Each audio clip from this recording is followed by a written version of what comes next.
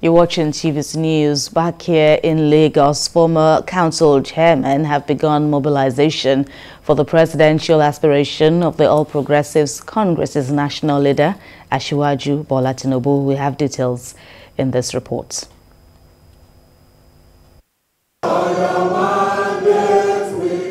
Grassroots Network for Asiwaju Bola Ahmed comprises serving and former local government chairmen, councillors, supervisors, secretaries to the local government, secretaries to education, special advisors, special assistants, and other political appointees at the local government level across the country.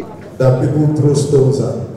GNAT coordinator, who spoke at the launch of the group in Lagos, said the foot soldiers cannot afford to be ingrate to the former Lagos governor, who played a great role in the rise to prominence. Qualified based on his robust pedigree, achievements, influence, sense of generosity and benevolence, capability, and capacity.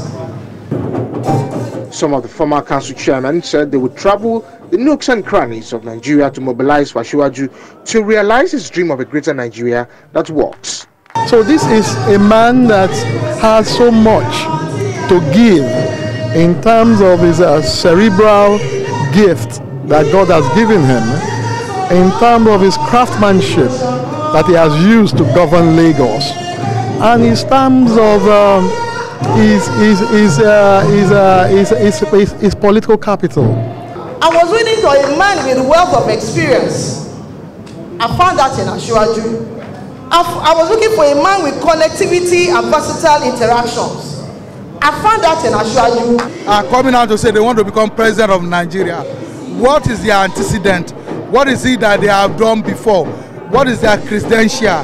We know that this is a man who had had the opportunity when he was in the Senate.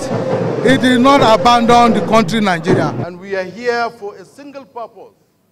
A party chieftain from Kano State said Tinubu is the answer to myriad of problems confronting the country. Nigeria, we need a leader like His Excellency Asiwaju because he has the capacity, he has the tenacity, he has the competence, he has the ability. Former All Progressive Grand Alliance governorship aspirant in Anambra State described Tinubu as a gift to Nigeria, whose benevolence cut across the six geopolitical zones. You know, by Asiwaju's nature, he loves the people is there for the masses and we believe that this is the time that we will come together to rally support for him and make sure he becomes the president of Nigeria. The group praised presidential aspirant for his courage, investment in pro-democracy crusade, achievement in Lagos as a governor, political mentoring and belief in national unity, assuring that he will bring development to Nigeria if elected. Ademola Lawrence, TVC News, Lagos.